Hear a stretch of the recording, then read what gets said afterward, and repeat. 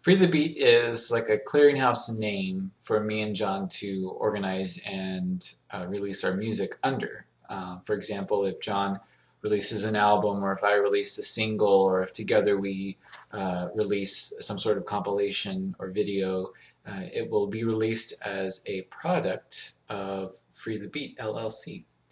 Um, this is a need because independently John and I have never really been able to lift ourselves off the ground um, as recording artists, um, at least not to a level that we would have hoped. Um, so our idea is trying something new, this Free the Beat LLC, um, associating ourselves and our work and our collaborations under that name, um, and hope to get some more exposure, um, more exposure than we ever could have gotten alone.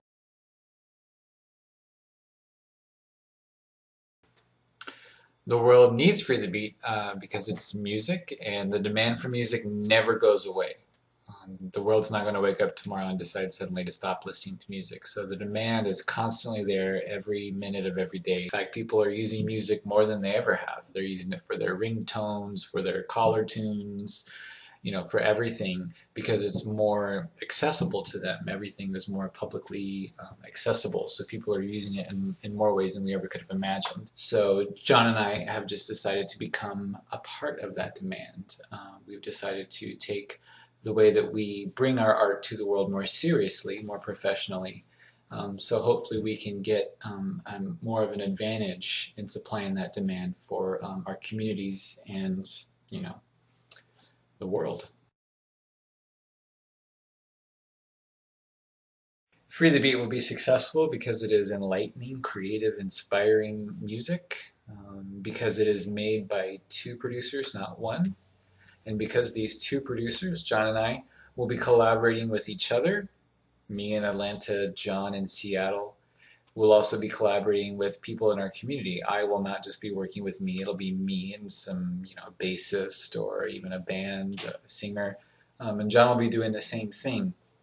This is a good advantage um, because we're going to be reaching more audiences, um, more people, more audiences, a bigger audience, and a broader audience, uh, two cities apart, way apart. So I'll be in the southeast, John will be in the northwest. So this, I think, is a good competitive advantage in getting getting a listening community, a big listening community. One of the challenges is also one of our advantages. Like I said, John will be in the north or west, and I'll be in the southeast of the country. Um, while that allows us to have a bigger audience, um, it also might make the working relationship that we have a little bit more difficult. However, John and I in our working relationships and in our friendships have always somewhat been apart. Um, this won't be the first time that we've lived and collaborated apart from each other. So I don't think that it'll be something that we're um, unable to do. But it will be a challenge um, because uh, we'll be leading very different lives in two different parts of the country. But I'm I think that it is more of an advantage than it is a weakness. Another weakness will be uh, trying to get the collaborators on board. Um, I know that it may be easy to just get them to uh, play with us, to make music together um, in the same community, but it might be difficult to get them to sign up for anything that's associated with this, you know, this name, Free the Beat.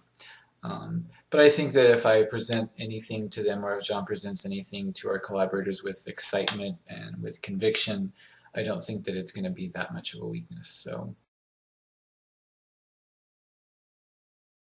I think our most important next step is establishing the name once and for all, um, getting the DBA and getting that filed as, as formally as we can. Another next step is going to be our New Year's single. We're going to we've released a Halloween album together and as Free the Beat. So now we need to release a single for um, the new year coming up. The most important next steps is really affirming ourselves in our community. Now I just moved to Atlanta and John is yet to move to Seattle. But we really need to hit the ground running when it comes to making those communal connections because that's going to be primarily what our a big part of our success is based on. All right, thank you everybody for listening. Uh, thank you Tiffany for the wonderful course in social entrepreneurship. It has been a wonderful learning experience. It is a lot of work to formalize your idea for a business in the arts, but it has been worth it, and I appreciate every minute of it. Thank you very much, and I hope everyone has a wonderful and successful new year. Thank you.